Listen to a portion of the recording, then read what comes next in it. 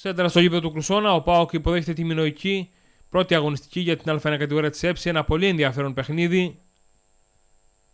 Από αριστερά γηπεδούχια ο Γιαννάκης για το ρομπάκι. Μέσα στην περιοχή θα σουτάρει με δύναμη. Όμως ο Αμπατζή μπλοκάρει σταθερά με διπλή προσπάθεια.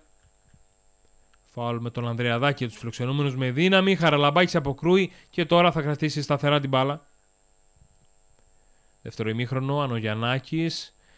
Ο Κεντριστάκης με χώρα στην περιοχή. Δυνατός σουτό του στα δίχτυα. 1-0 στο 61 το λεπτό. Η ομάδα του Κρουσόνα παίρνει το προβάδισμα με τον Γιάννη Κεντριστάκη να είναι ο σκόρερ. Από δεξιά τώρα η ομάδα του Μάριου Σιφάκη, η Σέντρα. Αποκρούεται προσωρινά ο Κεντριστάκης. Το δεύτερο δοκάρι με δύναμη, αλλά πολύ άστοχος πάνω από το δοκάρι. Από αριστερά ο Σακλαμάκης με χώρο. Το γύρισμα με στην κίνηση ο Στρατήγης. Όμως ο Αμπατζής σε μια σπουδαία επέμβαση με τον Αχέρι. Τελευταίες στιγμές του αγώνα, η μπάλα εκτός γηπέδου και τελευταίο σφύριγμα από το διτή νίκη 1-0 για τον Μπάουκ κόντρα στη Μινοϊκή.